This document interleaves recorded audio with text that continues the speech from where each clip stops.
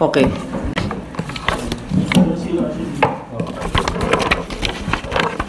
أعوذ بالله السميع العليم من الشيطان الرجيم. بسم الله الرحمن الرحيم. الحمد لله رب العالمين. شرح صدور أو شرح صدور عباده المؤمنين وجعلهم آمنين مطمئنين. وأشهد أن لا إله إلا الله وحده لا شريك له. ولي الصالحين. وأشهد أن سيدنا ونبينا محمدا عبد الله ورسوله فاللهم صل وسلم وبارك على سيدنا ونبينا محمد وعلى آله وصحبه أجمعين وعلى من تبعهم بإحسان إلى يوم الدين ما بعد السلام عليكم ورحمة الله وبركاته So lahat ng papuri at pasasalamat ay para lamang sa Allah Subhanahu wa Ta'ala. Atin siyang dakilain at purihin sa lahat ng pagkakataon. Naway igawad sa atin ang pangunawa, ang kaalaman hinggil sa ating panampalataya, hinggil sa tamang akida, at nawa ay ibilang tayong Allah Subhanahu wa Ta'ala doon sa mga uh, itinatangin niya mula sa mga siddiqin wa salihin.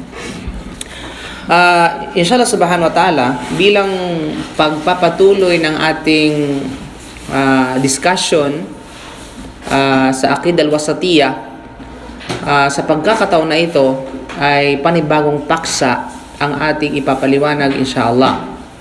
Panibagong section, ika nga, ang ating ihahatid sa gabing ito para sa ating kaalaman, para sa ating pananampalataya, and inshallah, hoping na ito ay magdagdag sa atin ng understanding at gayon din kaalaman na may kaugnayan dito.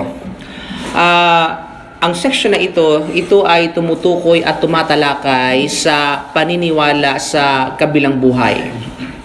At isa sa mga napaka-interesting ika nga na pag-usapan, ang kabilang buhay.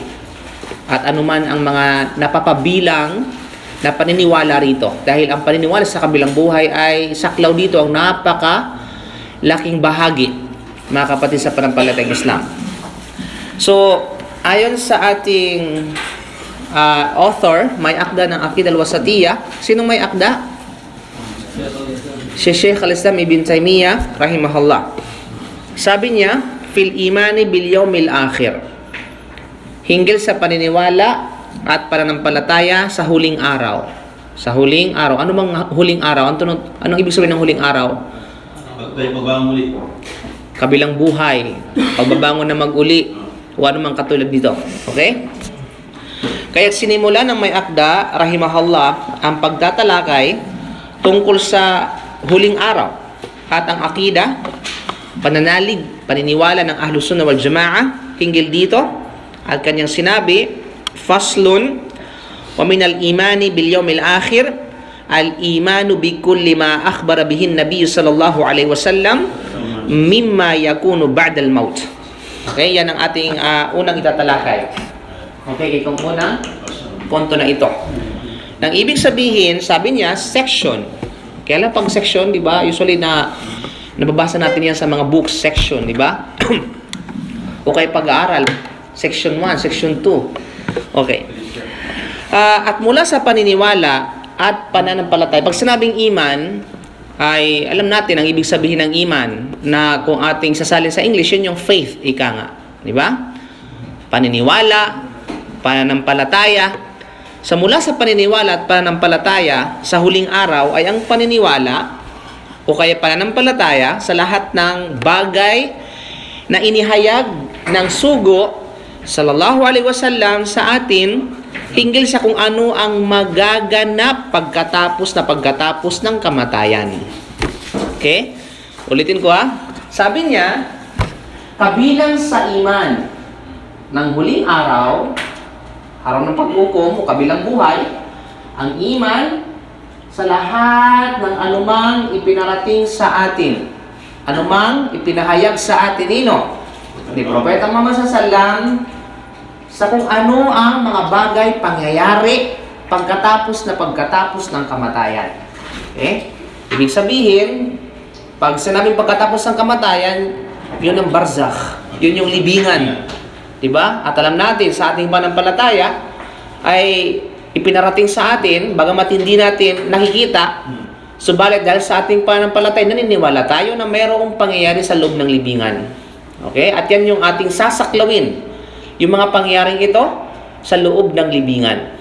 Kung bakit at kinakailangan nating maniwala rito. You know? At yan ay, subhanallah, may mga tao na pilosopo ba na sabi nila, eh, bakit ka, bakit mo maniniwala, wa, irhamukallah, bakit mo sasabihin yan, eh, nakapunta ka naman doon? Di ba? May mga ganon. May mga taong ganon ka talaga. So, para bang sasabihin nila, kinakailangan nilang ma-experience muna bago sila maniwala. Di ba? Ayan, at yan ay walang duda, yun yung bunga ng paggaligaw. Linaw? So sa atin, alhamdulillah, ah, dahil kapag nandun ka na, wala nang balikan eh. Kaya pinarating sa atin kung ano yung mga bagay-bagay na nanduroon upang sa ganun paghandaan natin. Malinaw? Okay, bilang tinatawag na komentaryo sa statement nito ni Sheikh Hassan bin Taymiyyah rahima- rahimahullah, ang hukom o ang batas, pag sinabing hukom, yun yung sabihin natin ay pataw, ika nga. Ah, pag sa Sharia, pag pinagsapang hukom, nai- naiintindihan natin, ito ay umiikot sa wajib, sa obligatory, kinakailangan, compulsory, o kay haram, mamubah, pinahintulutan, yun yung hukom. Okay? Yun ang tinatawag na hukom. So, ang bakit ang batas o tinatawag na hukom o hatol hinggil sa paniniwala o kay pananampalataya sa huling araw ay isang sapilitan. It is so ay faridatun wajib.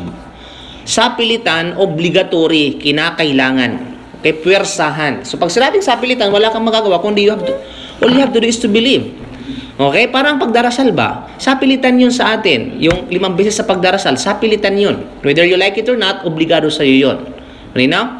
So, ito ay sapilitan, ito ay puwersahan, ito ay wajib, ito ay kinakailangan na maniwala rito. So, kinakailangan sa isang tao na maniwala rito. Okay? At ang katayuan nito sa relihiyon ay isa ito sa anim na haligi ng ano? Anim na haligi. anim na, six articles of faith. Anim na haligi ng pananampalataya o panan, paniniwala. So, meron tayong six, ah, anong six points? Ayusin mo yan. okay. meron tayong tinatawag na arkanol, sita arkanil iman. Sige nga, ano yung una? Maniniwala sa. Oh, painawa sa kaisahan niya. Pangalawa? Sunod-sunod. Al-imanu billahi wa malaikatihi, mga ang wa kutubihi, mga kahapahayagan. Okay, wa rusulihi, mga sugot mga propeta, ano pa? Wal yaumil akhir. Okay, ibig sabihin ay ang kabilang buhay o ang huling araw. Ano pa yung panghuli? Wal qadri khairihi wa syarrihi. Yun yung tinatawag na divine decree. Linaw? Mabuti man o ito o masama. So, ibig sabihin yung antas sa paniniwala sa huling araw, kabilang buhay, ay napapabilang sa tinatawag na anin na paniniwala. Alinman sa anim na ito, kapag ito ay tinanggihan ng isang tao, hindi siya matatawag na mananampalataya. Malinaw? At of course, majority of the, sabi nating, tao na uh, under sa anumang relihiyon, pinaniwalaan nila yung kabilang buhay. Maliban lamang sa mga atheist, mga mulhid, di ba? Yung mga atheist ay yun nilang maniwala na mayroong kabilang buhay. Subalit ang mga Christian, ang Hudyo, ang Buddhist, ay ang Buddhist ba naniwala? Kahit ang Hindu Kahit ang Hindu naniwala na mayroong kabilang buhay, di ba? So karamihan sa mga sabihin natin, mga mayroong relihiyon, naniniwala sila sa kabilang buhay. Pero siyempre, sa Islam hindi mapapantayan yung ating paniniwala sa kabilang buhay. Maninaw? Maraming pagkakataon na pinagsama ng Allah Subhanahu wa Ta'ala no? at kanyang inilakip ang paniniwala sa huling araw sa paniniwala at pananampalataya sa Kanya. Laging marami sa banal na Quran na kapag ah, inutusan tayo ng Allah Subhanahu wa Ta'ala na maniwala kayo sa akin, sasabihin niya, kaakibat nito ay inutusan ka rin na maniwala sa tinatawag na kabilang buhay. Na ganoon na lang mga kapatid, kapag ganoon ang pangyayari at kapag ganoon ang tinatawag na statement, ibig sabihin ay obligatory ika nga. Ito ay kabahagi ng paniniwala sa Allah Subhanahu wa Ta'ala. So ang paniniwala sa simula at paniniwala sa pagbabalik sa kabilang buhay. So ito ay bakit? Ito ay dahil sa kuwing kung sino man ang nabigo sa paniniwala. Sino man ang ayaw maniwala. Ayaw manampalataya sa huling araw, sa huling pag sa araw ng paghukom. Imposible na siya ay maniniwala sa Allah. 'Di ba? Ang isang tao na ayaw maniwala sa kabilang buhay, imposible na maniwala siya sa tatawag na Allah subhanahu wa ta'ala. Dahil ang sino man na ayaw maniwala sa huling araw, ay hindi na naisi na siya ay magtatrabaho para rito. Di ba? Kaya bakit tayo nagpapakapagod sa paggawa ng kabutihan? Kasi sa kabilang buhay. Di ba? Nandun yung ito yung investment natin. Di ba? Yung kabilang buhay. Kasi bakit? Inahangad natin na meron tayong aanihin doon sa kabilang buhay. So kapag ayaw mo maniwala sa kabilang buhay, wala kang gagawing kabutihan. Gagawa ka ng mabuti, pero ang layunin mo para sa makamundong bagay. Di ba? Gagawa ka ng mabuti na ang layunin mo para sa iyong tinatawag na kasikatan lamang. Para sabihin, merong sabihin sa iyo yung tao. Di ba? Ngunit, at subalit, wala kang paghahangad sa kung ano man ang magiging gantimpala mo sa kabilang buhay nga kasi nga, wala kang pinaniniwalaan sa kabilang buhay at sa kaho, tinatawag na huling araw. So hindi siya nagtatrabaho para rito. Sapagkat ang hindi nagtatrabaho maliban sa kung ano ang hinahangad niya at inaasam niyang karangalan sa huling araw at kung ano ang kanyang kinatatakutan na paghihirap at kaparusahan. Adab, di ba walang duda? Bakit tayo nagdarasal? Bakit? Kasi tayo ay naniniwala na paparusahan tayo sa kabilang buhay kapag ito ay tinaligdan natin. Di ba? Bakit tayo nag-aayuno? Dahil naniniwala tayo na kapag hindi ka nag-ayuno, pananagutan mo sa kabilang buhay yun. So, meron kang pinangangambahan na parusa. Di ba? Kaya, tinan mo ha, yung mga tinatawag na hindi nagdarasal, kahit sinasabi nilang sila yung mga Muslim, mapapansin nyo, may mga Muslim na hindi nagdarasal. Sinasabi nilang Muslim sila pero hindi sila nagdarasal. Di ba? Kulang yung paniniwala nila sa tinatawag na kabilang buhay. Kulang. Bakit? Kasi, kung sila naniniwala sa kabilang buhay, magdarasal sila. Kasi bakit? Hindi nila alam. O bagamat alam nila, sa kaso lang matigas ang ulo, alam nila na mayroong parusa, ika nga, naghihintay sa kanila. At ang parusa ng hindi nagdarasal, maaring ipatigim sa dito sa ibabaw ng mundo, subalit pinakakarumaldumal sa kabilang buhay. Walang duda. So meron tayong pinangambahan, meron tayong tinatawag na sabi ng kinatatakutan na parusa, at the same time meron tayong hinahangad na gantimpala. Kaya tayo ay gumagawa nito at umiiwas tayo sa mga bagay na ito dahil naniniwala tayo na yung kapalit ay andun sa tinatawag na araw ng paghuhukom sa kabilang buhay. Na kung kaya, kapag siya ay ayaw maniwala rito, siya ay magiging katulad ng mga taong sinasabi ng Allah subhanahu wa ta'ala sa suratul Al-Jathiyah, uh, na kung saan ay siya Kapitulo 45, Kapitulo, Kapitulo 45, versikulo 24, Masya Allah. na kung saan sinabi ng Allah subhanahu wa ta'ala, Ba'udhu billahi minash shaitan rajim wa qalu ma hiya illa hayatuna dunya yamutamu namutu wa nahya wa ma yuhlikuna illa dahru na kung saan sabi ng mga musyrikon ito yung mga claim ng mga walang pananampalataya. Yung bang mapag-imbot at mapagsamba sa mga Diyos-Diyusan ang buhay ay walang iba kundi ang buhay lamang natin dito sa daigdig sabi nila habang tayo ay naririto at wala ng buhay maliban dito bilang pagtanggi nila sa pagkabuhay na maguli pagkatapos ng kamatayan. At walang makapagwawasak sa atin, kundi panahon sa pamamagitan ng pagsalit-salita ng gabi at sa araw haba o uh, sabihin sa at araw sa haba ng tinatawag na bu, haba ng buhay. So ito yung kanilang claim, di ba? Ito yung mga claim ng walang pananampalataya. Kaya sabi nga nila, you have to live in this world as a happy person. Kasi sabi nila, because life is a once, sabi nga nila. Di ba? Kinakailangan mabuhay ka dito ng mang masaya, mabuhay ka rito ng marangal, mabuhay ka rito ng wala kang nasasagasaang tao, mabuhay ka rito ng marami kang pinapasaya na mga tao. Dahil bakit? Dahil isa lang ang buhay natin, sabi nila. O, di ba? So ito lang yung para bang yung purpose lang lamang ng kanilang buhay ay maging masaya. Di ba? Maging masaya.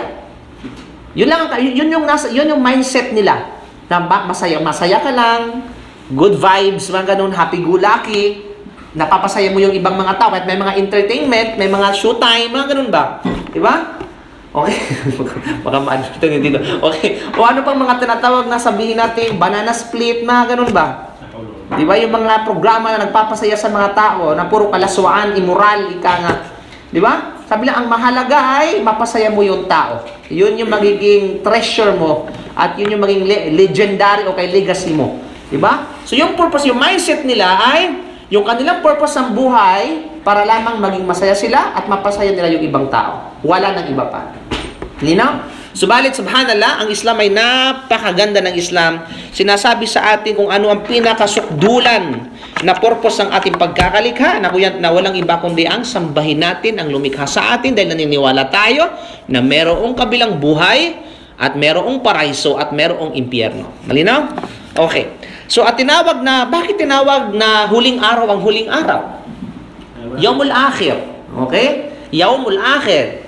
Araw huli. Sabihin, huling araw. Tinawag ang huling araw na huling araw dahil ito ang araw na pagkatapos nito ay wala nang iba pang araw na susunod. Okay? Wala nang iba pang araw na susunod. We're talking about na iba pang yung araw na katulad ng pagsali-salit ng araw at sa gabi. Malinaw? Ako sa lulubog yung araw, sisikat yung araw. Wala na, after na magunaw na ang daigdig, na-establish ang araw ng paghuhukom, there is no day after that. Malinaw? Wala nang tinatawag na, yes, merong araw. But ibang konsepto ng araw sa tinatawag na kabilang buhay. Hindi yung araw na kung saan ay nakikita natin na pagkagising natin, sumisikat yung araw. Malinaw? At pagdating ng tinatawag na magrig, lumulubog yung araw. Malinaw? Dahil sa araw ng paghukom, ifo-fold yung tinatawag na araw. Irorolyo ang tinatawag na araw. Malinaw? So wala nang salit-salita ng araw at sa gabi sa araw ng paghuhukom. Malinaw? Kaya nga tinawag na huling araw dahil there is no day after that. Malinaw? Nakatulad ng karaniwang araw mga kapatid sa panampalatayas na alam natin. Ito na ang huling tinatawag na yugto. Ito na ang huling yugto ng isang tao. Malinaw? Pakatandaan mga kapatid sa panampalatayang Islam na ang tao pagdadaanan pagdadaanan niya ang limang marahil. Ang limang, ano mo sabi ng marahil? Marahil, Tagalog yan eh. Ang marahil, yung marahil sa Arabic, yun yung tanatawag na yugto. Stages of life, ika nga. So pag, ah, pag ano niya, pag ah, dadaanan niya yung tinatawag na limang stages. Okay? Ano yung limang stages na yon? Sige nga. Sa tiyan? Buhay sa tiyan ng nanay, good. Lima yon. Pangalawa, Buhay sa mundo. Ano pa? Buhay sa libingan. Ano pa? Araw ng paghuhukom. Nasaan yung isa? Yung last. Ano yung last? Diyan lang isa. Diyan lang na. Ayun lang. Kabilang yan sa araw ng paghuhukom. Buhay na walang hanggan. Ha? Kamay. Kasi final destination ng araw ng paghuhukom, either paraiso o impyerno. Merong isa. Yan. Okay. Kasi apat lang ang known, ika nga. Subalit merong isa. Yun lang nalaman, no? Sabi ko sa inyo yung nalaman eh. Meron tinatawag na marhala. Yug mga kapatid. Una-una, marhatul adam. Yung una. Okay? Five stages. Stages life. Okay?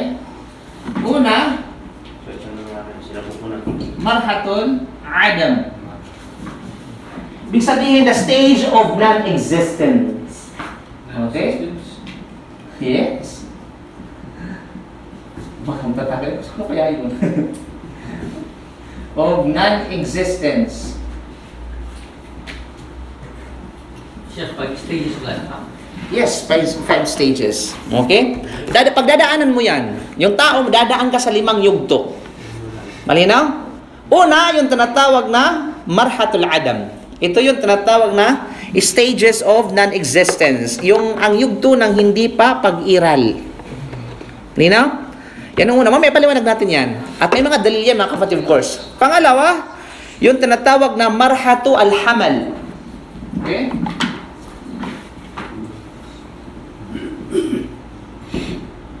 Marhatul hamal. Sabihin pregnancy. Stages of pregnancy. Okay?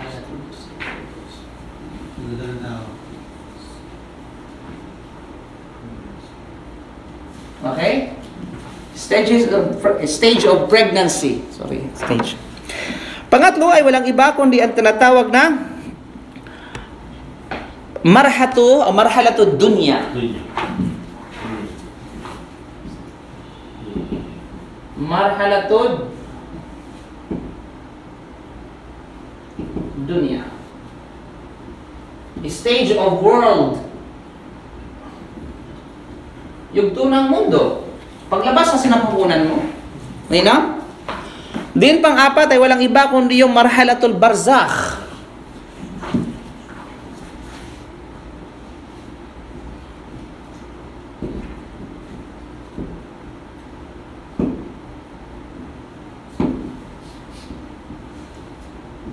Stage of barzakh.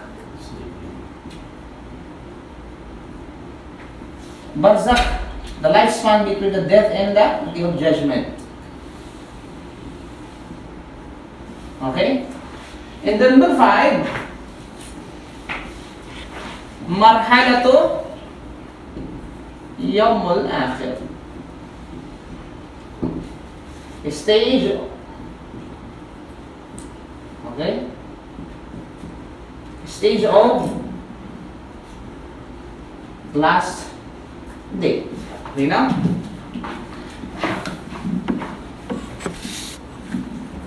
O mar, um, um, mar marhalatul akhir, mas maganda mar, mar, marhalatul akhirah. Yung tinatawag ano. Okay? Sabihin, huling yugto, last stage. Malinaw? So yun, ito yung kabilang buhay. So meron tayong tinatawag pagdadaanan ng limang yugto mga kapatid sa panampalatayang Islam. So tayo ngayon nasa ilang yugto pa tayo? Pangatlong yugto. Nako, mahirap-hirap yung natitirang dalawa. So kinakailangan maghan, nag, mag, maghanda tayo. Subhanallah. Pahirap ng pahirap yan, sa totoo lang. Pahirap ng pahirap. Kung sa, sa, sa napupunan ka, bagamat hindi mo naramdaman yan, naramdaman ng magulang mo yan. eh. Di ba? Tapos iniluwal ka, subhanallah. Di ba? Wallahi kung Ah, di ma, tanongin natin ang sarili. Alam mo ba kung pag ang sarili natin, minsan mag-delay-delay tayo. Bakit? Nasa sa loob pa tayo ng sinapupunan ng ating mga magulang. Bakit meron na tayong ilong? Bakit meron na tayong mga mata? Meron na tayong bibig? Meron, tayong, meron na tayong tainga? Bakit hindi na lamang yung paglabas natin, doon pa magsusulputan yung mga ito? Yes. Bakit? Why? Ako na lang sasagot. Kasi bakit? Because of the preparation. Preparation. Di ba? Ginawa yung para sa tinatawag na paghahanda sa paglabas natin mula sa sinapupunan. Di ba? So, ganun din. Saan tayo patutungo? Sa third stage, a fourth stage. So, kinakailangan natin maghanda. Di ba? Wallahi, kung, kung tayo ay nasa loob pala ng sinapupunan, pinaalam na sa atin kung gaano kahirap ang mundo na ito, ayaw natin lumabas. Totoo lang. Di ba? Kung pinapatid sa'yo sa sinapupunan sa'yo na wala kang sasahurin ng six months, eh, ayaw mo lumabas. Ayaw mo lumabas, ayaw mo magka-problema. Subhanallah. Di ba? Kung pinabatid lamang. Subalit, wala tayong magawa kundi ay sumunod kung anong itinakda ng Allah Subhanahu wa Ta'ala. So bakit hindi natin i-take yung opportunity na bago pa tayo pumunta doon sa tinatawag na stage of barzak, barzakiyah, na samantalang ipinabatid na sa atin ng Quran at Sunnah na ito na yung mangyayari sa iyo kapag hindi mo ginawa yan. At ito yung mangyayari sa iyo kapag ginawa mo yan. Bakit ang tao kulang pa rin sa preparasyon? Di ba? Yun yung uh, nakakamangha kapatid sa panampalatayang Islam. No, isa-isahin natin yung mga stages sa ito mga kabayan na mayroong katibayan sa banal na Quran inshallah.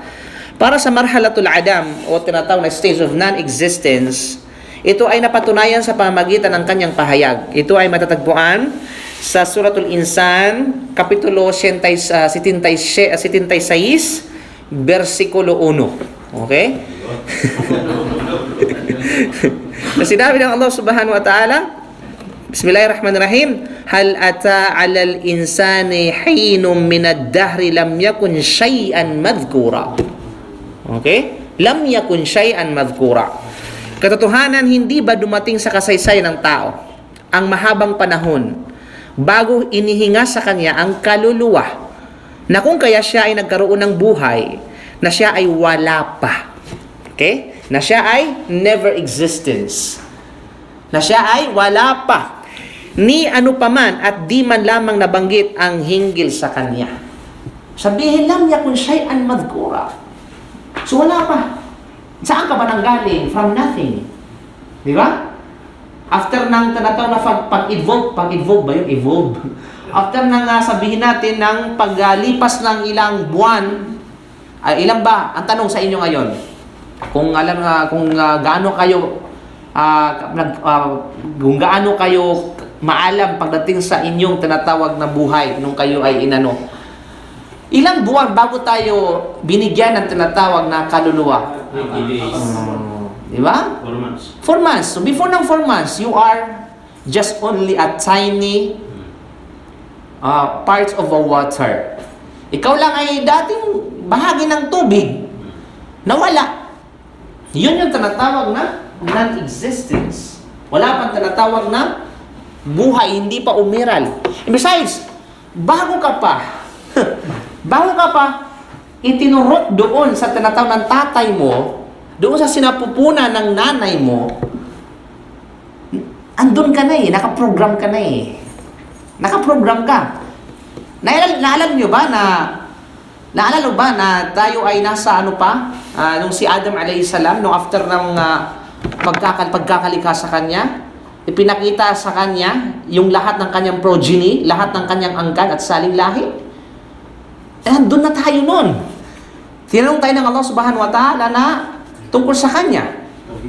Tauhid, di ba? At siya ay nag-mingi sa atin na huwag tayo magdambal ng pagsamba sa kanya at we agreed.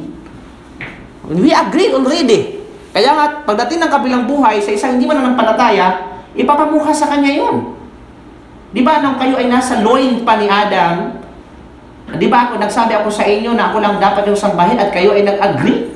Anong nangyari ngayon? Ba't kayo sumama ng bukod sa akin? So ba? Nandun na nakaprogram na yan. Subhanallah. So, ibig sabihin, nandun mo na sa, yan, hindi pa umiral. Nandun na yon. Yan ang tinatawag na unang stage. Non-existence, mga kapatid. Malinaw? Kanya pang sinabi na kung sa matatagpuan sa Suratul Hajj, Kapitulo 22, versikulo 5, sinabi ng Allah subhanahu wa ta'ala. okay. okay. Ya ayyuhan nas, إن كنتم في ريب من البعث فإنا خلقناكم من تراب ثم من نطفة ثم من علقة ثم من مضغة مخلقة وغير مخلقة. لنبين لكم ونقر في الأرحام ما نشاء إلى أجل مسمى. ثم نخرجكم طفلا ثم لنبلغ ثم لتبلغوا ashuddakum wa minkum may yutawaffa wa minkum may yuraddu ila ardhalil umr likay la ya'lam min ba'di ilmin shay'a wa tara al-arda hamidatan fa idha anzalna 'alayha al-ma'a ihtazzat wa rabat wa anbatat min kulli zawjin bahij suratu al-hajj malinaw na kung saan ito ay napakaganda ng ayat na ito subhanallah napakaganda ng ayat talaga ito ba yung bang ano ba ipinaalala sa atin kung, kung saan tayo nanggaling kung saan tayo nang galing. Kung ano yung mga pinagdadaanan natin nung sayo ay nasa sinapupunan pa ng ating mga magulang. Usang katauhan. So ito ay address sa mga tao, sa lahat ng tao, Muslim o hindi Muslim.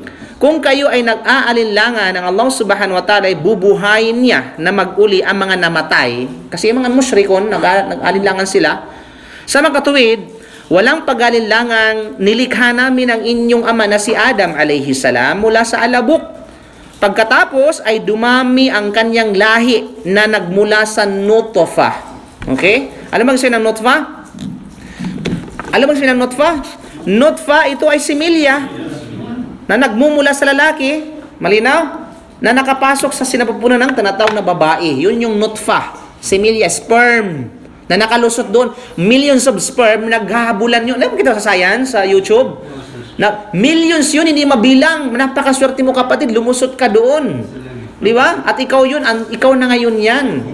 Subhanallah. Ba, nakipag-wrestlingan ka doon sa mga ibang sperm. Subalit nagtagumpay ka, Masya Allah.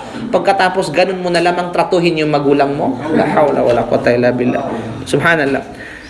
Linaw? Sa pamam at sa pamamagitan ng kapangyarihan ng Allah Subhanahu wa Ta'ala of course, ito ay magiging isang alaka. So, nutfa, alaka. So, dapat i-stage natin yan. Actually, ah, mar- maraming nag-Muslim na mga science dahil dyan. Subhanallah. Di ba yun sa ano, yung... Sino yung nag-Muslim dyan na ano, na si Moore ba yun? Si Keith Moore. Mala, malinaw? Una is, nutfa, yan ang stage natin. Din alaka. Ano siya? Okay. Ang ibig sabihin ng alaka, namumuo itong yung bang namumuong dugo. Namumula-mula ika nga na isang pulang dugo na malapot. Di na? Pagkatapos ang namulong ang, namu, ang namuong dugo nito ay nagiging mudaga. Magiging tinatawag na mudga. Hmm. Anong sabihin ng mudga? Isang laman na. Magkakaroon na siya ng laman. After na magkaroon ng ah, namumuong dugo na siya, ito ay magkakaroon ng tinatawag na laman na ito ay isang pirasong laman na kasing dami ng isang subo. You know? Na parang may mga kagat sa tagilira, parang gum. Di ba? Actually, pinortrait nila yan eh. O doon sa book ng ano eh, yung ano ba yun? Ng book, meron yung sa science na book. Masya Allah, tabarakallah. At minsan ay buo ang pagkalikha nito. So ito na ngayon. At minsan, buo yung pagkalikha rito na magpapatuloy ito sa paglago o paglaki hanggang sa ito ay lalabas na isang buhay na sanggol at minsan naman ay hindi buo ang pagkakalikha nito, pagkalikha rito na kung kaya ito ay malalaglag. Di ba? So, ibig sabihin, nakatakda na kung sino yung malalaglag, kung magiging buo o hindi magiging buo. So sa mga nalaglagan, naagasan, wag malungkot. Dahil din talaga itinakda na mabuo yung bata na yaon. Malinaw? So, yan ay nasa kapangyarihan ng Allah subhanahu wa ta'ala. Nasa ganito namin nililinaw sa inyo ang kabuuan ng aming kapangyarihan sa pagkakasunod-sunod ng mga yugto ng pagkakalikha nito. Asinanhin namin na manatili ang mga ito sa sinapupunan sa anumang itinakdang panahon na aming nais. Ano? Natili, ang mga ilang months, ah, nine months, di ba? Approximately nine months. May mga ano pa nga eh, seven months nanganganak na. May mga six months pa nga eh, premature. Di ba? Okay. Na ito ay nabuo bilang isang nilikha hanggang sa ito ay ipanganak. Na mabubuo naman ang mga yugto nito pagkasilang ng mga sanggol na magsisimula bilang mga maliliit na mga bata na unti-unting lumalaki hanggang sa maabot niya ang edad ng katatagan. You know? Na ito ay panahon ng kabataan, kalakasan at tamang pagkahubog sa, na sa kaisipan.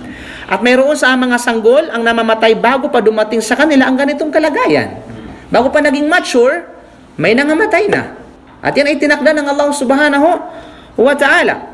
At mayroon naman sa kanila ang lumalaki hanggang sa umabot sa matinding katandaan at pagiging ulyanin o kahinaan ng kaisipan na hindi na alam ng sinumang inaabot ng katandaan ng mga bagay na dati niyang alam na upang pagkatapos siyang pag magkaroon ng kaalaman noon ay ibinalik siyang muli sa pagiging walang kaalaman. Di ba? Yung mga ulyanin, galing siya sa walang kaalaman, tapos pabalik doon sa tinatawag na walang kaalaman. Hindi niya matatandaan kung ano yung mga ginagawa yung tama at saka mali. Di ba? At makikita mo ang kalupaan, ito na, natuyot, na walang buhay, na walang anumang pananim na sumisibol. Subalit kapag binuhusan namin ang tubig ulan, ay nabubuhay na gumagalaw sa pamagitan ng pagsibol ng mga pananim mula rito. Na ito'y lumalaki at nagiging masagana ang paglago nito at nagpapatubo ng bawat mabubutit mga gandang pananim na kanais-nais sa mga paningin. Di ba? So, inahalin tulad yung nabubuhay na halaman, mga nabubuhay na mga butil sa kalupaan, tapos dinidiligan ng tubig ulan, inahalin tulad sa tinatawag na mga sa ating pagkakalikha na dati ay wala at pagkatapos binigyan ito ng buhay, okay? At pagkatapos iniluwal, ganito kakapangyarihan ng Allah subhanahu wa ta'ala. Nino? So tayo, ang punto dito, tayo ay nanggaling sa wala. Tayo ay nanggaling. Okay, dumaan tayo sa pagiging wala. Nino? At pagkatapos ay nagkaroon tayo at umiral tayo. Yan ang unang stage mga kapatid. Kaya nga, ito isang paalala na ang yabang-yabang mo ngayon, samantala ikaw ay nanggaling sa wala. Di ba? Nga ngayon ay pag nakaasta ka, para bagang uh, ikaw na yung hari ng mundo at ikaw nagmamayari ng mundong ito. Sige, Buloy. Sige, Diba? Ah, yun na yun. Abnormal na yun. Walang duda. Iwan ko alam, dapat nagpa-check up na siya. Ito lang. Subhanallah. Wallahi, ang sino mang sumunod sa kanya, hunghang na rin. Di ba? Siguro ulyanin na si ano, Kibuloy. Naway gabayan siya. Subhanallah kapatid. Subhanallah. Wallahi kapag ginabayan siya ng Allah subhanahu wa ta'ala, mashallah tabarakallah, marami siyang marami siyang tinatawag na susunod sa kanya inshallah. Ngayon no? Subal kapag siya nagpatuloy na ambot sa iyaha. Ambot na lang jud. Ngayon no? So yun yung tinatawag na unang stage. Tayo ay nanggaling sa wala. Yeah? Sabihin, stage from, or stage of non-existence. Pangalawang yugto mga kapatid, ito yung yugto ng pagbubuntis. You know? Sinasabi ng Allah subhanahu wa ta'ala, hindi ibig sabihin na nagbubuntis ka. Ibig sabihin, dumaan tayo sa tinatawag na pagbubuntis ng ating mga magulang. Sino ang hindi dumaan sa pagbubuntis? Sino ang hindi dumaan? Siya lang. Si Ana. Ay, salamat sa kasi. Chef. Diba? Di ba? May apat yun, di ba, Chef? Dalawa yung tao. Pero sa creation, isa apat yung hindi dumaan sa normal process. Ano yun? Yung patatlo yung naging ahas na staff ni... uh, Ah, oh. At yung pang-apat ay... Uh, Nagiging tao nga. bago kung sino narinig yun eh. Ha? 2005 yung narinig. Hindi dumaan sa tinatawag na ano. na normal creation Oo. stage ng creation. Masya Allah. Si Adan at si Eva, tapos yung staff yung naging ahas. Naging ahas? Labas ni Musa, Moises, aray salam. Yung pang-apat ay... Yung normal, hindi siya dumaan sa normal process. Siya. Pero dumaan siya sa tinatawag na mahiwagang proseso. Kun fayakun. You know? Okay. Masya Allah. Isipin mo na lang yung panghuli. so, sinabi ng Allah subhanahu wa ta'ala ang hinggil dito na kung saan ito matatagpuan sa Asurat Zumar, Ah, kapitulo, uh, kapitulo 39, versikulo 6. Sinabi ng Allah subhanahu wa ta'ala, Yakhluqukum fi butuni ummahatikum khalqan min ba'di khalqin fi dhulumati thalath. No? At nilikhan niya kayo, so tayo daw, sabi niya, nilikhan niya kayo sa mga sinapupunan ng inyong mga ina na yugto-yugto. Pero mo, yugto-yugto. Pagkakalikha, pagkatapos ang pagkakalikha na nasa mga tatlong talukbong Tatlong talukbong na kadiliman. Ano yung tatlong talukbong na kadiliman ito? Habang tayo ay nasa sinapupunan ng ating mga magulang. Ano yon? Una yung tiyan. Yan. Okay, yun yun tiyan. Pangalawa, ano yun? Sinapupunan. Sunod ay yun yung placenta. Ba? Placenta. Yung puputok. Unan, inunan. Yan, ano ba yan? Placenta sa ano? Tagalog? Inunan. Inunan. Okay, inunan. Akala ko sabon yung placenta. Di ba tayo sabon ginagawang sabon ng ngayon? sa Totoo ba yun? na Galing talaga yun sa ano? Yung placenta galing talaga yun sa inunan? Kung naniwala ka naman siguro. Alam mo siya, nag-collect sila ng mga inunan, tapos sila lagi ng ginagawa nilang sabon. Siya, baka yun na lang sa pangalan. Oh, Di ba? Kasi ba, maputi, kasi yung placenta maputi. Ganon. Ah, tama. ako. Ayun na? Plastic yun eh. O, hindi yun na... Subhan, alam mo, kukuliktahin nila yung placenta, bawat nanganak, kukuliktahin nila at gawin nila sabon. Na eh. Ginagamit ko sa mga ano. mga Sabon, di ba? Ha? Oo nga. So ito yung tatlong ya, tatlong yugto ng kadiliman. Subhanallah kapatid. Biro mo? Kaya nga biro mo gaano gaano ka pinangalaga ng Allah Subhanahu wa Ta'ala? Talagang napakatindi ng kapit mo, hindi ka nahulog. Subhanallah. Kaya nga tayong kay Sheikh Uthaymin rahimahullah kasi nagtatalo doon sa ayong mga ulama patungkol doon sa hukom ng pagpapalaglag ng isang ano kapag hindi pa dumating sa apat na buwan. Dito, sa apat na buwan kasi pag dumating sa apat na buwan, meron ng kaluwa, hindi na pwedeng ilaglag yon. No matter what. Otherwise, it is a crime. Ika nga. Malinaw?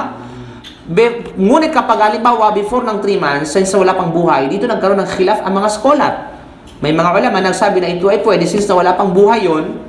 Subalit ang the strongest ika nga na opinion ay ang opinion na kinabibilangan sa opinion Sheikh Uthaymin rahimahullah at ginastify niya subhanallah na kung saan sabi niya hindi pwede sa kadahilanan ng nakalagay sa banal na Quran inalagaan namin yung batang yaon bago pa dumating yung kanluwa. Oh. Inalagaan. Na kung saan, yung nabasa natin kanina, pinangalagaan, bata na sa yung sinabi ko na bago pa dumating yung pag-ihip sa kanya ng kanluwa. So, ang alam sa ang alam sa ang alam sa mga mismo na nangalaga pa paano bakit mo? Anong karapatan mo na ito ay tanggalin? Di ba? Anong karapatan mo na ito ay tinatawag na sabihin natin na ito ay kunin? Not unless kapag ito ay necessity. Not unless kapag ito ay darura. Malinaw? Okay. So yan sapagkat ang Islam ay, uh, ibig sabihin ay tinatanggap ang darura, ibig sabihin yung kinakailangan. So ito mga kapatid, so ito yung dalil na tayo ay nasa tinatawag na stage ng pregnancy. Pangatlong uh, tinatawag na stage, hinggil sa yugto ng mundong ito, walang duda, understood yun, sinasabi ng Allah ang hinggil dito, na kung saan matatagpuan sa Suratun Nahl, uh, Kapitulo 16, versikulo 78, sinabi ng Allah subhanahu wa ta'ala, Wallahu akhrajakum min butuni ummahatikum la ta'lamuna shay'an wa ja'ala lakum as-sam'a wal absara wal af'ida la'allakum tashkurun. Ang Allah subhanahu wa ta'ala ang siyang nagpaluwal sa inyo mula sa mga sinapupunan ng inyong mga ina. Siya yung, naglaba, siya yung naglabas sa atin. Siya. Sinanhin niya na makalabas tayo at hindi ka nasakal doon. Subhanallah. Ayun pagkatapos ang takdang panahon ng pagdadalang tao sa inyo, na wala kayong nalalaman, you know nothing. Wala kayong nalalaman na anumang bagay mula sa inyong kapaligiran at pagkatapos ay pinagkalooban niya kayo ng panindinig, paningin at mga puso upang kayo ay makabatid. Nang sa gayon ay tatanaw kayo ng utang na loob sa Allah sa mga biyayang ito at siya lamang ang inyong bukod tanging sasambahin. So, ito yung kapalit ng pagbigay sa atin ng puso, ng isip, ng mata, ng paningin at saka ng pandinig para sa lamatan natin siya, sambahin siya. Anong ginagawa ng tao ngayon after na binigyan siya ng ganito? Pinag pinagkalooban, inabuso. Ginamit sa pagsuway, ginamit sa tinatawag na kasalanan. Subhanallah. Malinaw? At napakapalad natin, alhamdulillah, tayo ay binilang mula doon sa mga ginagamit ito para sa kanyang ikalulugod. Malinaw? Okay. So ito mga kapatid, dito, dito na malinaw na sinabi na tayo ay walang alam. Ang tanong, sino yung uh, uh, sanggol pa lamang na binigyan ng kaalaman ng Allah subhanahu wa ta'ala? Si Isa alayhi salam. Sino pa? Meron yan. Yung Actually, apat, ata tatlo, apat. Kung hindi ko nagkamali. Tatlo. Okay? Yung isa yung... Asabul Ukdud. Okay, yung bata. Yung bata. Yung yun, nakon sa yes. Ibig sabihin ay, yan sa tinato na strange. Di ba? uh, Sino yung pangatlo? Sa, ito yung kwento tungkol sa Israel. Bano Israel? Musa. Hindi. Hindi, yung, kwento ng Zani, di ba? Oo, kwento sa tungkol sa tinatawag na ano. Yan, ma- meron yan. ah, hindi ko malamano yung buong kwento niya. Pero yan ay nangyari sa Banu Israel. You know? Subhanallah. Maganda yan. Eh, ano yung kwento na yan? Baka itanong natin yan sa ano. okay eh. At sa yugtong ito, yung yugto ng mundo, malinaw, yung yugto ng mundo na ito, umiikot ang tagumpay sa, yung yugto ng tinatawag na itong marahalatud dunya, dito umiikot. Sa yugto na ito, umiikot yung ating tinatawag na tagumpay, yung success. At saka yung sabihin nating failure, ika nga.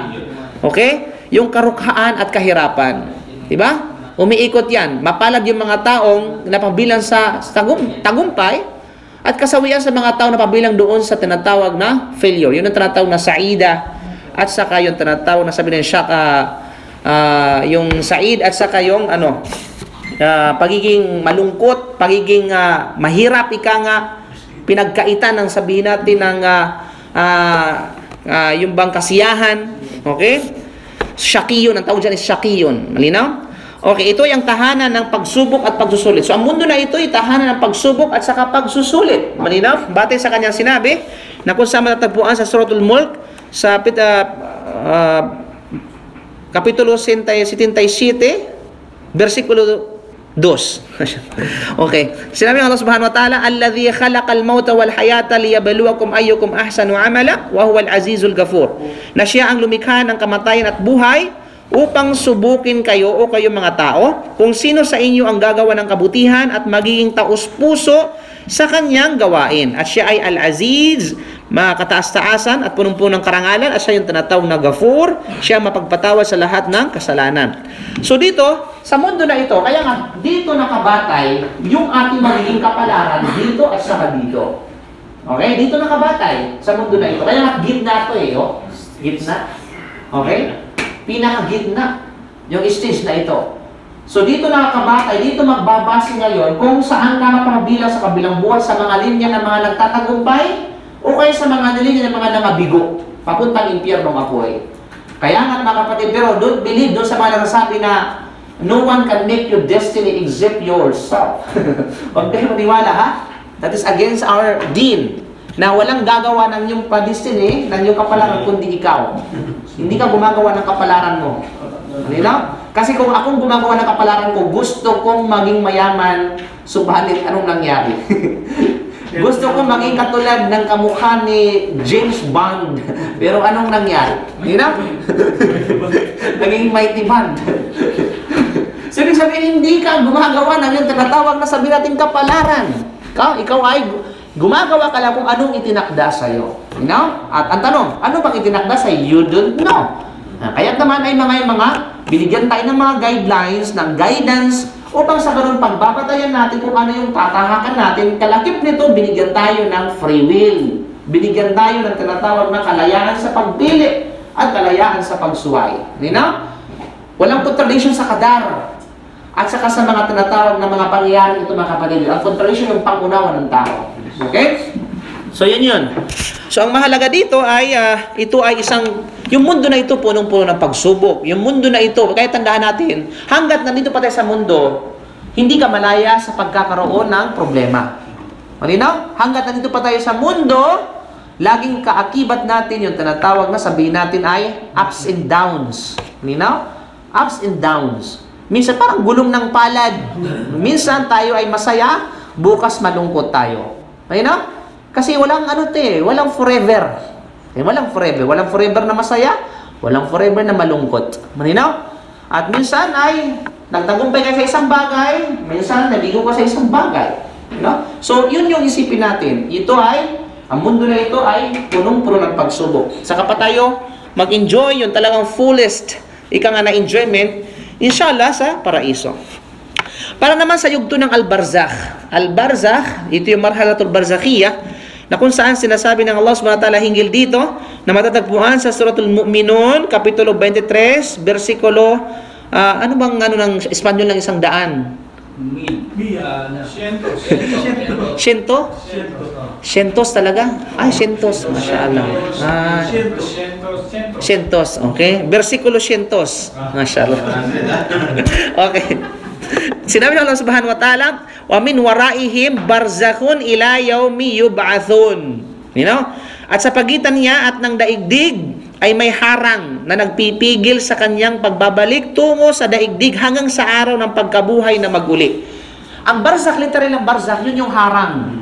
Yan ang ibig sabihin ng barzakh. Na parang ba sa Suratul Rahman, okay, ba, bainahuma barzakhun la yabghiyan. Di ba? Suratul Rahman ang kita mo, yung tubig na hindi pwedeng tubig, dalawang ano yan, either dalawang dagat na hindi pwedeng magkahalo, o kaya ay tubig alat at saka tubig tabang na hindi pwedeng magkahalo. May na? Okay, dalawang ano yan, kapatid, dagat yan. Okay? Tapos ang pareho silang dagat, subalit merong barrier sa pagitan nila.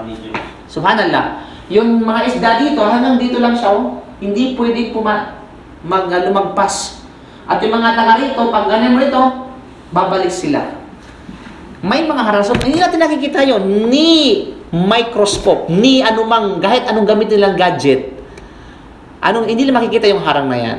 Linaw? Na ang wa ta'ala nakakaalam lamang yan kapatid sa panampalatayang Islam.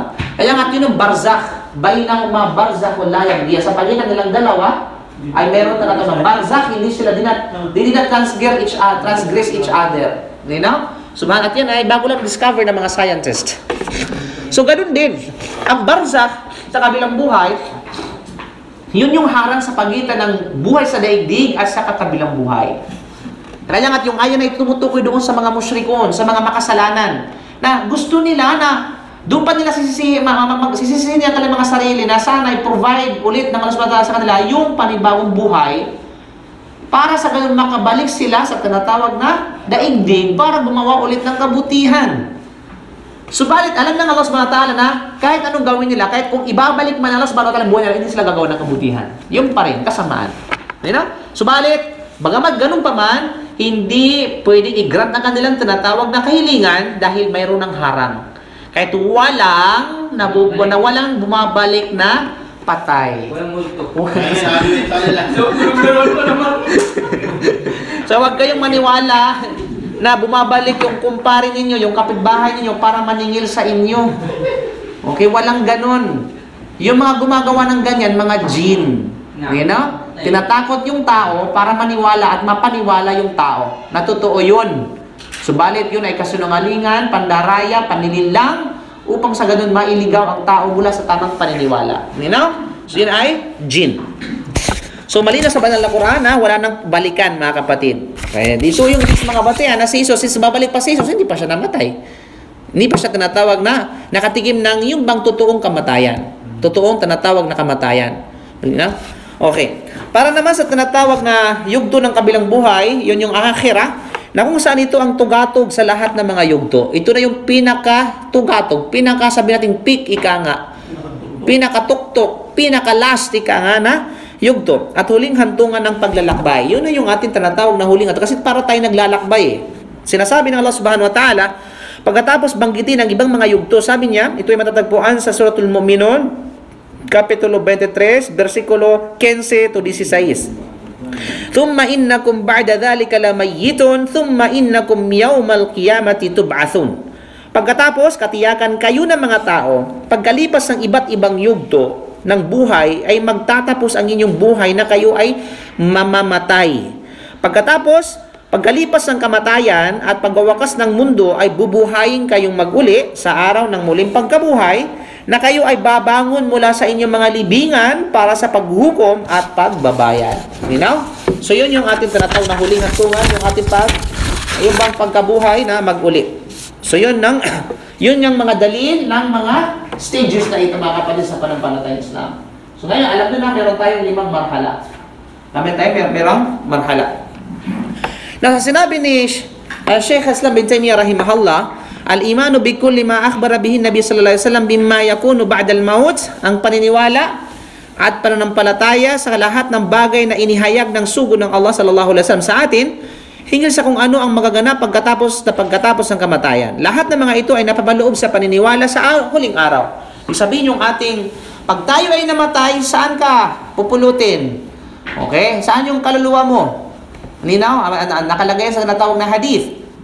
So, after ng kamatayan mo, yun na yung pagpasok ng tinatawag sa ng huling ah pagka, yung biling ah, ah, kabilang buhay. At yun ay kabilang sa paniniwala sa huling araw. Ito ay dahil kapag ang tao ay namatay, namatay ka, for instance, siya ay papasok sa yugto ng kabilang buhay, di ba? Makakapasok ka na sa yugto ng kabilang buhay. Kaya naman kadalasan sinasabi ng mga Arabo, man matsa, kamats qiyamatuhu. Ang ibig sabihin, sino man ang namatay, ang kanyang muling pagkabuhay ay dumating na. Okay? Sino man ang namatay, ang kanyang muling pagkabuhay ay dumating na. Sa makatuwid, anuman ang magaganap pagkatapos ng kamatayan, siya ay bahagi ng huling araw, bahagi ng kabilang buhay. Kaya naman, gaano kalapit sa atin ang araw na yaon? Gaano kalapit, kapatid? Malapit na. Sobrang lapit na. Kasi bakit? Pakatandaan natin, hindi tayo paatras, paabante tayo. Buhat nung tayo isinilang sa mundong ito, paabante tayo. At hindi tayo paatras. At lahat ng paabante malapit. Yun yung principle. Yes, yung general principles. Lahat ng papunta, papalapit. Kaya sabi na napakalayo pa na. Alam mo, pupunta, uh, pupunta tayo ngayon ng Sarawat, maglalakad tayo. Ay, ang layo pa naman, di bro. Actually, papalapit. Kasi hindi tayo paatras eh. Lapit. Kundi ay papalapit tayo. Yan yung prinsipyo mga kapatid. Okay? So kaya naman ay napakalapit ito. Walang anuman sa pagitan natin at ng huling araw maliban sa kamatayan ng tao. Maliban lamang sa kamatayan. Walang, walang pagitan natin ngayon at sa kabilang buhay natin kundi yung kamatayan natin. Subhanallah. Pagkatapos siya ay papasok sa huling araw o kabilang buhay. Na kung saan doon walang anumang bagay maliban sa kabayaran ng mga gawain. Mabuti sa mabuti, masama sa masama. Pag mabuti yung ginawa mo dito, halas doon na ang kabayaran. Pag masama yung ginawa mo rito, doon na yung kabayaran. Wala yung kabayaran dito. Doon yung final. Ano na? Subhan, maaaring magdusa ka dahil sa ginagawa mo rito. Ngunit ang pagdurusa na yan, kapag ikaw ay nanumbalik sa Allah, paglilinis yun. Sa mga hindi nakakaintindi, pagdurusa yun. You know? Subalit, ang mga nakakaintindi, yung mga paghihirap, pag, paghihinagpis siya din sa ibabaw ng daigdig, paglilinis sa kanya yun. Doon ang kasira. Doon ang balik. Sabi nga ng mga salaf natin, mga, mga, mga ulama natin, mas maganda na yung ah, binigyan ka ng pagsubok problema dito sa daigdig na naalala mo at nagpapalapit sa iyo sa Allah subhanahu wa ta'ala kaysa sa karangyaan na pag pinagkaluban ka nito, magpapalayo naman sa iyo sa Kanya. Hindi na? At yan ay walang duda. Sa isang mananampalataya, anuman ang kanyang ah, nangyari sa kanya, naging, mapabut, naging mabuti sa kanya yon. Kahit mga kapatid sa pananampalatayang Islam, kaya kailangan tinatawag na maghanda talaga. Kahit ah, da- dahil dito, sa pilitan sa atin na bigyang pansin ang napakahalagang punto na ito. Yun yung tinatawag na punto ng ating kabilang buhay. Kaya nga sabi ni Sheikh sa O tao, ayuhan nas. O tao, sabi niya, mag-isip ka. Mag-isip ka at pagnilay-nilayan mo ng mabuti. Magnilay-nilay ka. Kaya binigyan ka ng isip eh, para mag-isip eh. Di ba? Binigyan ka ng tanatawag na diwa para ikaw ay magnilay-nilay. Pag sa pagnilayan mo ng mabuti, matutuklasan mo na ikaw ay nasa panganib. So, totoo yan. Matutuklasan mo kapag ikaw ay pinag-iisipan mo na mabuti, subukan mong tinatawag na ano, pumunta sa bubong na mag-isa sa kadaliman ng gabi. Di ba? Huwag ka lang magpakamatay, ha? Mag-isip ka ba? Ika nga, let yourself be free to think. You know? Mag, ano ka, mag-isip ka at magninay-nilay ka. Malalaman mo na ikaw ay nasa panganib. Nasa panganib ka. Subhanallah. Dahil ang oras ng kamatayan ay hindi natin batid. You know? Pangalawa dito, kasi bakit makapanganib ka? Kasi marirealize mo, pag ikaw na mag-isa iniisip mo, ano yung mangyayari sa akin? Mayroon ba akong mabuting nagawa? Maisip mo, yung mga ginagawa ko for a fast few years, o kay ilang taon na pagdaan, tinatanggap ba yun ng Allah subhanahu wa ta'ala? Doon mo pagtanto eh. Doon mo magkakaroon ka ng evaluation kasi kapag kaharap natin yung Facebook, ang gadget, wala tayong ma-evaluate. Totoo. Kapag kaharap natin yung mga bagay-bagay na ito, yung mga makamundong bagay, hindi mo mabibigyan ng pagkakataon ng sarili mo na ay kwentahin at tinatawag na timbangin. Subhanallah. Subalit kapag ah, ikaw lang mag-isa, yung mag-ihiwalay mo muna yung sarili mo sa mundo at bigyan mo yung oras mo ika nga na mag-isip at mag at mag-evaluate ika nga mapagtatampo mapagtatampo mo o mapag mapag ah, mapagtatang mapapagtatanto mo na ikaw ay nasa pagkalugi. Ikaw ay nasa pagkalugi. Maray hindi natin masabi na tayo ay nasa pagkalugi ngayon kasi bakit ay we are busy in doing something. Pero kapag ah, in-evaluate natin ang ating sarili, wallahi, kulang na kulang. Ika nga, kung ikukumpara, kung meron lang timbangan ngayon sa ating harapan, ay tunay na tunay na mangingibabaw yung ating pagsuway kaysa tanataw na kabutihan. Subhanallah. Naway bilang tayo ng doon sa mga tao nag-strive at nagmumuni-muni sa kanilang mga ginagawa. So ang kamatayan ay hindi natin batid. Maring lumabas ang tao mula sa kanyang pamamahay na hindi na siya makakabalik pa. Marami nangyari niyan. Expected ng pamilya na makabalik. Ano na yan? Nadulas lang kapatid, natapilok lang. Anong, nang, anong nangyari? Nung natapilok siya, yung pala ay nabundol ng sasakyan dahil siya natapilok. O kaya ay nasugatan, yung tinatawag na kurikong, ah, yung ingron, nagkaroon ng titano. Di ba? O ano mga tinatawag na at pangyayari na katulad nito. Maaring umupo ang tao sa kanyang kinauupuan na hindi na makakayanang pang tumayo. Dahil sa siya ay binawian ng buhay. Maaring siya ay makatulong sa kanyang makatulong sa kanyang higaan. Gayon pa man, maaring siya ay dalhin mula sa kanyang hinihigaan papunta sa higaan ng pinaguhugasan. Ano yung pinagu eh, higa, ano yung higaan ng pinaguhugasan? Yung para sa kanyang patay na katawan sa pagliligo for janaza. Maraming ganun sa pag subhanallah. Maraming na akala mo ay napakahimbing ng pagtulog. Subalit, subhanallah, lumipas ang ilang oras ay hindi na nagising. Subhanallah. Di ba? So napakaraming pangyari mga kapat sa panampalatayang Islam. May mga may mga ibang tao na binuha kinuha na ng buhay na mas ma- masahol yung pagkakuha sa kanya ng buhay niya. At may mga tao naman, masya Allah, ay para bagang wala lang, subalit wa, na, uh, binaano siya. Di ba? May mga tao na napaka, masya Allah, masasabi natin napakapalad. Habang sila'y gumagawa ng pagsamba, binabawian sila ng buhay. At ilan lamang yun sa kanila kapatid. Hindi lahat pinagkaluban ng ganitong pagkakataon at biyaya. Yung maggagawa ka ng isang mabuting gawain at pagsamba at doon ka mamamatay. Subhanallah. Di ba? Meron na kwento, na, meron, na, actually marami akong kwento na nangyari yan, mismo kakilala ko mismo, na talagang sila binawian ng buhay habang sila gumagawa ng isang pagsamba. At naway ibilang tayo ng Allah subhanahu doon mga kapatid. Yung mga taong ito ba, ba yung mga taong ito na kung saan napaka, subhanallah, napakapalad nila na habang gumagawa sila ng dhikr, yung ba, sala, ibada, pagbabasa ng Quran, at iba pa pag-aayuno, ika nga, lalong lalo yung tinatawag na jihad of isabilillah, sila binawian ng buhay na nasa landas ng Allah subhanahu wa ta'ala. At ang bagay na ito ay nangangailangan sa atin na ating sunggaban ang pagkakataon ng buhay at pagbabago sa pagbabago at panunumbalik sa Allah subhanahu wa ta'ala. So it is opportunity. Yung mundo na ito, take this moon, this dunya as an opportunity, ika nga, para sa tinatawag na karangalan mo sa kabilang buhay. Gawin mong opportunity, yung tinatawag na mundo na ito, sa panunumbalik sa Allah subhanahu wa ta'ala na ang taong ito ay palagi ang magkakaroon ng kamalayan, awareness sa pagbabalik loob sa Allah subhanahu wa ta'ala at manumbalik sa Kanya at tumingin ang Kanyang kapatawaran. Subhanallah. Hanggang sa matapos ang pag, ang- ang- hanggang sa matapos ang ah, at magwakas ang kanyang buhay at siya ay nasa mabuting tinatawag na kalagayan. Kaya nga kapag ikaw ay naging tinatawag, wallahi, hindi ipagkakait sa ng Allah subhanahu wa ta'ala ang isang napakagandang pagkakataon na ikaw ay bawian ng buhay na nasa mabuting kalagayan kung ikaw naman talaga ay nagpapakita sa paggawa ng mabuting gawain. Subhanallah. Hindi yan yung pagkakait ng Allah. Ang Allah subhanahu wa ta'ala is just ang Allah subhanahu wa ta'ala. Fair ang Allah subhanahu wa ta'ala mga kapatid. Subalit, wag mong asahan, ika nga, na gusto mong gusto mo na bawian ka ng buhay na habang gumagawa ng kabutihan, wala ka namang ginagawang kabutihan. Come on, Chong! Sabi nga, di ba? Ay, sabi na, nahi, na, naiibang ka na ba? Na nangangarap ka? Iyon yung tinatawag na ajiz. Nananaginip. Diba? Nangangarap ka na ikaw ay mabuha, nasa mabuha, yung mamamatay ka na mara, marangal sa paningin ng Allah Ta'ala, subalit ang ginawang pagsuway sa Allah Subhanahu wa Ta'ala. Subhanallah. Kaya nga tayo, wag natin wag natin ipagdamot sa ating mga sarili yung mga opportunity na ito. Bilang mananampalataya, wallahi, napakapalad natin. Napakapalad natin dahil maftuh.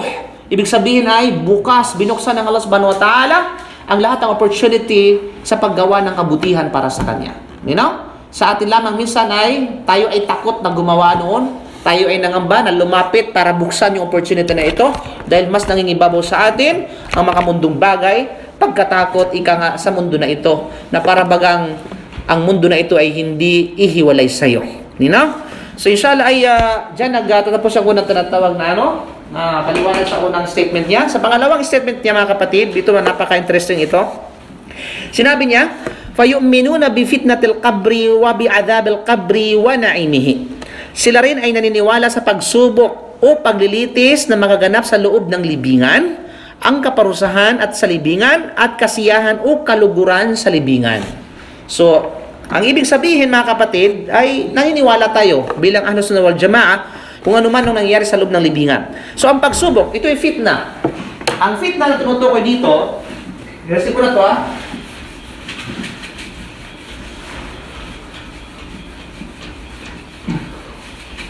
Meron tayong word na fitna. If you hear the word fitna, what comes in your mind? Okay? Trials, di ba? Ito ay pagsubok. Fitna means pagsubok. Alam, kapatid, fitna ka talaga. Anong fitna? Hindi fitra, iba yung fitra. Fitna means ikaw ay tinatawag na sabihin natin ay minsan pag ginamit kasi ang word na kapatid fitna ka talaga, minsan sabihin ikaw ay isang ah, ano ba? Ah, oh, parang mm, tukso ka, ganun. So pagsubok. Ang tukso ay pagsubok. Walang duda. Kung sabi, tukso layuan mo ako, sabi nga nila. Ang pagsubok ang pagsubok dito, ang fitna dito, ay nangangailangan, nangangahulugan na paglilitis. Ibig sabihin, ito yung tinatawag na test ikana. Imtihan. Okay? Paglilitis. Sa test ba, parang sabihin ikaw ay examination, ika, ika nga.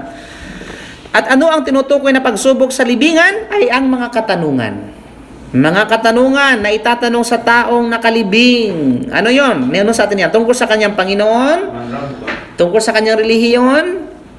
Madino ka? Tungkol sa kanyang propeta. So ito yung tatlong katanungan ha. Yung mga dagdag extra lang yan. Mga, uh, mga ano yung tawag yung mga mm, makiblato ka, maimamo ka, walang mga dalil yan. Walang mga dalil yan. Sa, siguro, inano yan, kinuha sa mga sufis, mga sufi, at saka sa mga tinatawag na iba pang mga sabihin natin paniniwala na wala namang batayan. Kanina? Pero may dalil is tatlo. Man rabbu ka, madino ka, man nabiyo ka. Ang panghalip na sa iyo ito, fayu'minun. Merong tinatawag na damir o merong pronoun. Okay? Fayu'minun, kaya't maniniwala sila. Sinong sila? Ang pronoun dito, sino tutukoy? Sila. At sila, kaya sila yung naniniwala. Sino, sino yung sila? Okay? Sila yung naniniwala. Means tumutukoy sa ahlus sunnah wal jamaah. Tumutukoy sa tinatawag na ahlus sunnah. Tayo, ahlus sunnah, naniniwala tayo sa tinatawag na sabihin natin ay fitna sa loob ng kubur. Alalaong baga, ang ahlus sunnah wal jamaah ay naniniwala sa pagliliti sa loob ng libingan. Ayan, walang duda, kabilang sa ating akida yan. Ito ay alinsunod sa mga katibayan na matatagpuan sa aklat at sa sunnah hinggil sa bagay na ito. Now, hinggil sa aklat, ano yung patunay hinggil sa aklat? Ay napapa, ito ay napapaloob sa kanyang pahayag na kung saan ito ay sinabi ng Allah subhanahu wa ta'ala na ito ay matatagpuan sa ah, Surah Ibrahim. Okay, kapitulo 14 versikulo 27. Na sinabi ng Allah Subhanahu wa Ta'ala, "Yuthabbitu Allahu alladhina amanu bil qawli thabit fil hayati dunya wa fil akhirah." Pinatatag ng Allah Subhanahu wa Ta'ala ang mga yaong naniwala sa pamamagitan ng matibay na salitang katotohanan. Na ito ay ang pagtistigo ng la ilaha illallah o walang ibang sinasamba maliban lamang sa Allah Subhanahu wa Ta'ala karapat dapat. Okay? At pagkatapos at walang bumat pagalinlangan na si Muhammad ay sugo ng Allah subhanahu wa ta'ala. At anuman ang kanyang daladala na din ay katotohanan. Nasa pamagitan ng din na ito ay patata- patatagin sila ng Allah subhanahu wa ta'ala dito sa buhay sa daigdig. At sa oras ng kanilang kamatayan, sa pamagitan ng mabuting pagtatapos, at ganoon din sa libingan ay gagabayan sila ng tamang pagsagot sa katanungan ng dalawang anghel. So dito, so kapag mananampalataya ka, patatatagin ka ng Allah subhanahu wa ta'ala sa daigdig. At pagkatapos doon sa iyong kamatayan, pag sinabing sa kamatayan mo, yung babawian ka ng buhay na nasa mabuting kalagayan. Okay? At pangatlo, patatagin ka doon sa mga katanungan sa loob ng libingan. Mas matindi yung kapatid yung sa tinatawag na tatlo. Kasi bakit tatlong katanungan lang pag hindi mo nasagot, mahirap sagutin yun kapag talagang kasi yung, yung kasagutan doon sa loob ng libingan ay batay sa performance mo yan sa tinatawag na daigdig. Dahil sa na daigdig. Mas, manrabo ka. Sabi mo lang, maaaring gayon, manrabo ka Allah. Subal pag hindi mo, hindi mo isinakatuparan ang tinatawag na la ilaha illallah, halas. Mahihirapan ka sa doon sa loob ng libingan. Okay na? Mahirapan kang sagutin sa loob ng libingan. Man nabiyo ka, sabi, his prophet is our, uh, uh, Muhammad is our prophet. Yes, Nilagay natin sa tapulin, nilagay natin sa tanato na ano, dito sa ano, tawag dyan? Sa damit, di ba? Nilagay natin sa tawag na sa, sa mga sticker, mga ganun. O, sine, sineselebrate pa nila yung tinatawag na sabi natin mauludun nabi, kaya they, they, they love Prophet Muhammad sallallahu alaihi wasallam kuno. Tapos, anong ginagawa nila? Gumagawa sila ng bid'a. Paano masagot nila ngayon sa loob ng libingan kung sino yung propeta? Ngayon, So, napakahirap sagutin mga kapatid sa panampalatayang Islam.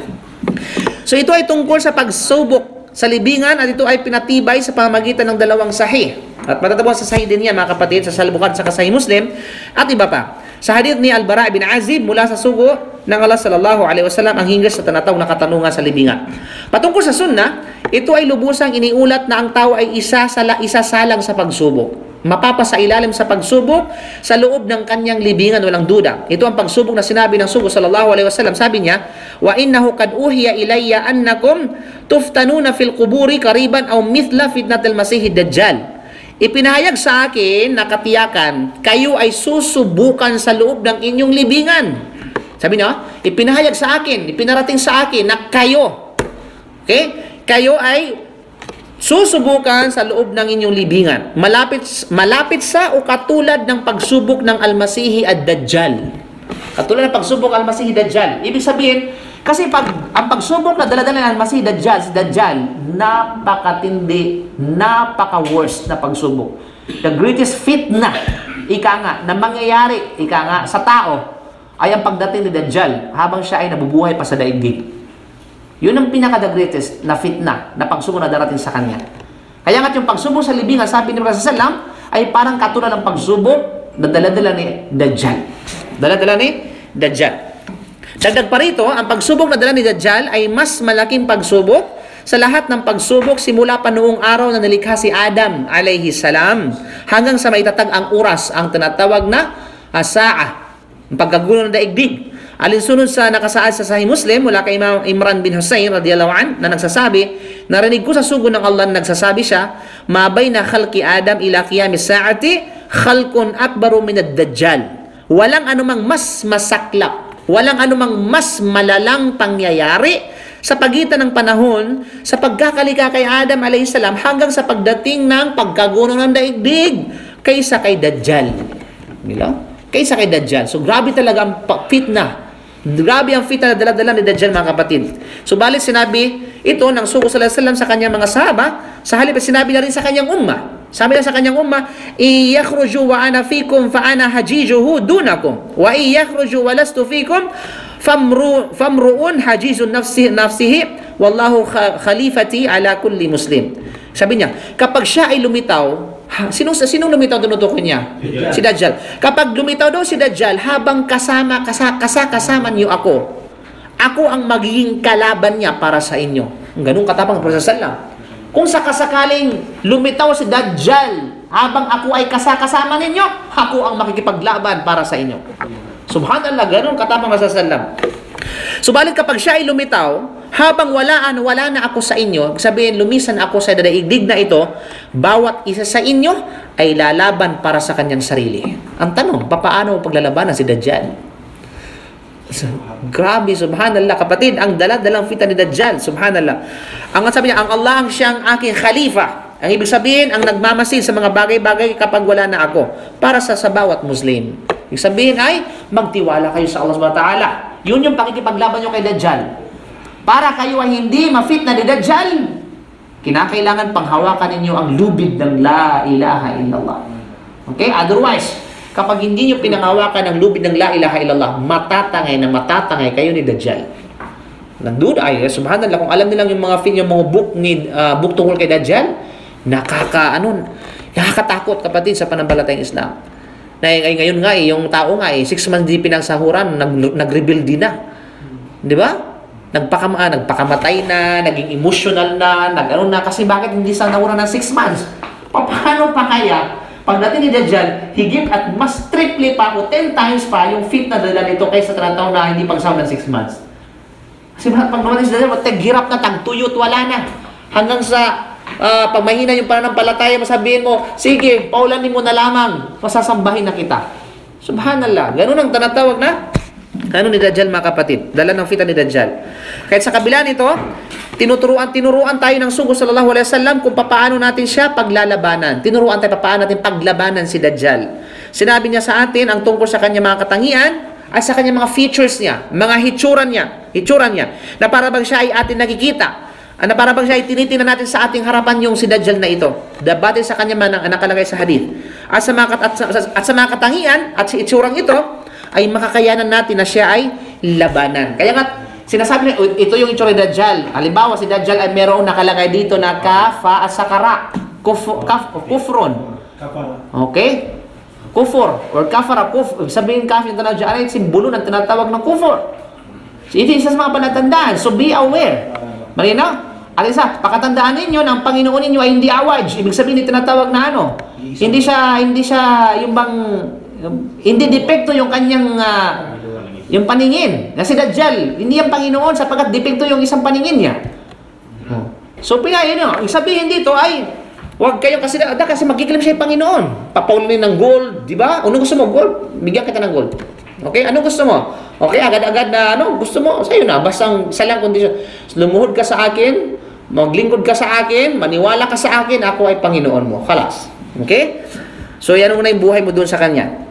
Kaya naman sinabi, sinasabi natin na ang pagsubok na dala ni Ad-Dajjal ay ang pinakamalaki at pinakamasaklap sa lahat ng uri ng tinatawag na pagsubok. Kaya sinasabi ng Suko Sallallahu Alaihi katiyakan kayo ay susubukan sa loob ng inyong libingan malapit o katulad ng pagsubok ng Almasihi at Dajjal. Okay? Almasihi, katulad yan. Sabihin naman matinding pagsubok mga kapatid sa panampalatayang Islam. Okay? Kahit napakatinding pagsubok, sa kadahilanan ng tao ay isasalang at ipapasa ilalim sa pagtatanong, mga katanungan, na kung saan hindi madaling sagutin, maliban na lamang sa may matibay na pundasyon ng pananalig at pananampalataya at mga mabubuting gawain. So yun lang, yun ang matibay na pundasyon. Masasagot mo yan kapag matibay ang pundasyon mo. Ano yon? Gumagawa ka ng tinatawag na mabuting gawa at ikaw ay gumagawa sa ikalulugod ng Allah subhanahu wa ta'ala at nananalig ka sa Allah subhanahu wa ta'ala at nanampalataya ka sa Allah subhanahu wa ta'ala. Huwag ka maniwala sa mga tao na, oh, total, nandiyan la ilaha illallah. Okay? Sabihin ko lamang yan, bawa ko mamatay, ay ligtas na ako. Huwag kayo maniwala dyan. Kasi kung ang puso niya, laman-laman, ay puro tinatawag na atak-atak dahil sa paglaro ng classroom glance, siyempre, yun yung mababanggit niya. Pag namatay siya, atak, atak, atak. Okay, hindi la ilaha illallah, kundi atak, atak, atak. Muli na? Subhanallah. So kung anong laman ng puso mo, nung ikaw ay nasa mabuting kalagayan, yun yung magiging laman kapag ikaw ay mamamatay. Hindi na? So kaya't punuin natin ang ating mga puso ng la ilaha illallah pag-alaala sa Allah subhanahu wa ta'ala. So dito nagtatapos mga kapatid yung paliwanag ng kanyang tinatawag na statement, pangalawang statement. Then inshallah, susunod, ang tanong susunod na pangal, itong susunod na ito ay napangal kasi bakit sino yung mga taong makakaligtas mula sa katanungan sa loob ng libingan? Okay? Yung ating makikita na itong napak sa next verse, inshallah subhanahu wa ta'ala. At yan ay napakaganda ika nga na malaman natin kung sino-sino sila at na ibilang tayo doon sa mga taong ito na hindi nadadaan sa paglilitis, pagsubok o katanungan sa loob ng libingan. So Allah alam bisawab, subhanaka bihamdika asyhadu an la ilaha illa anta astaghfiruka wa atubu ilaik. Assalamu alaikum warahmatullahi wabarakatuh.